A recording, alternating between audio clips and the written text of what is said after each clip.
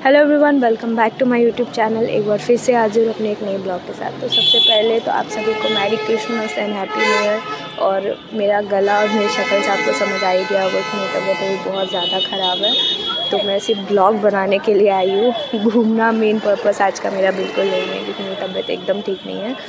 तो मैं आपको बता दूँ कि आज मैं और मेरी फ्रेंड जा रहे हैं डीएलएफ मॉल तो वहाँ पे बेसिकली हम लोग मॉल आपको नहीं दिखाएँगे, आपको सिर्फ़ दिखाएँगे जो क्रिसमस थीम पे जो भी डेकोरेशन हुआ है उस पर तो वो मेनली आपको मैं यहाँ पे दिखाऊँगी।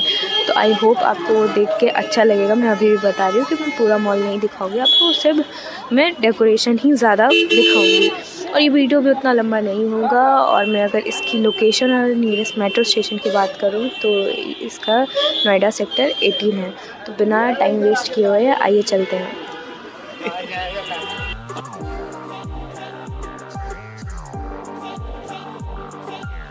ये मैं डीएलएफ मॉल के मेन गेट के पास आ गई हूँ। यहीं सभी एंट्री करेंगे और सामने आपको मॉल दिख रहा होगा। मैं आपको बता दूँ कि यहाँ पे एक क्रिसमस फेस्ट लगा हुआ है। उसी को देखने के लिए मैं यहाँ पे आई हूँ, जिसकी अगर टाइमिंग की बात करूँ तो सुबह 12 बजे से लेकर रात के 11 बजे तक रहता है और ये 25 दिसंबर तक ही लगा हुआ है। तो यहाँ पे काफ़ी अच्छे स्टॉल लगे हुए हैं और बेसिकली ये एक क्रिसमस थीम पे इसको बनाया गया है। तो आपको मैं अभी पूरा स्टॉल एक एक करके दिखा रही हूँ और मैं आपको बता दूँ कि मेरे गले सब कॉस मैंने पहले भी बोला आपको कि मेरी तबीयत बहुत ख़राब है तो इसलिए मैं ज़्यादा नहीं, बस मुझे ये फेस्ट ही शूट करना मेरे ब्लॉग के लिए। और देख सकते हो भीड़ कितनी गंदी वाली है और मुझे इतना ज़्यादा प्रॉब्लम हो रहा है अभी ब्लॉग शूट करने में, मैं कि आपको बता नहीं सकती हूँ। बहुत धक्कम धुक्की सा हो रहा था। तो यहाँ पे बहुत अच्छे से कपड़े हैं। आपको मतलब सारी चीज़ें मिल जाएँगी। आप चाहो तो यहाँ पे शॉपिंग कर सकते हो।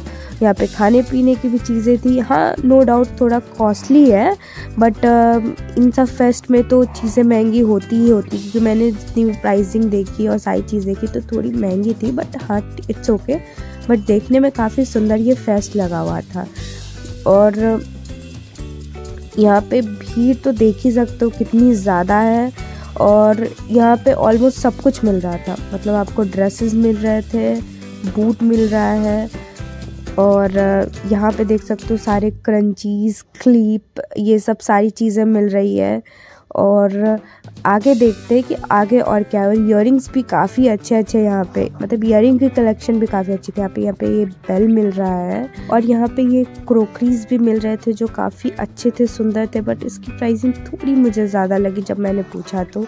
बट कोई नहीं, आगे चलते हैं। बट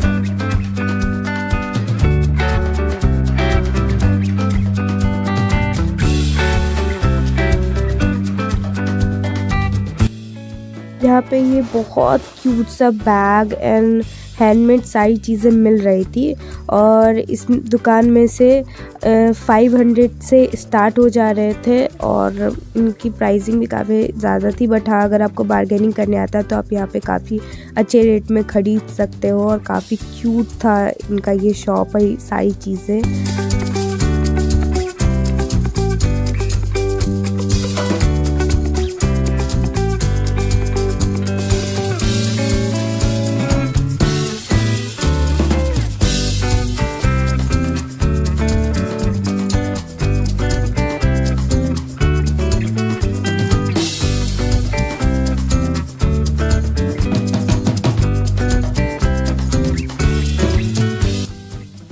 So, अभी मैंने आपको सारा ये stall and all Christmas fest का आपको दिखा दिया है।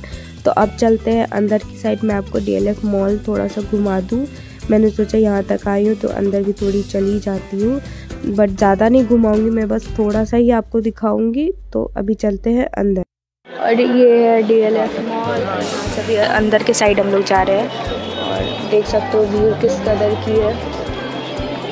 और वहाँ पे क्रिसमस ट्री भी है। और ये यहाँ से भी मॉल की एंट्री है। मॉल ऑफ़ इंडिया देख सकते हैं यहाँ पे कितनी लंबी लाइन है मॉल के अंदर जाने के लिए।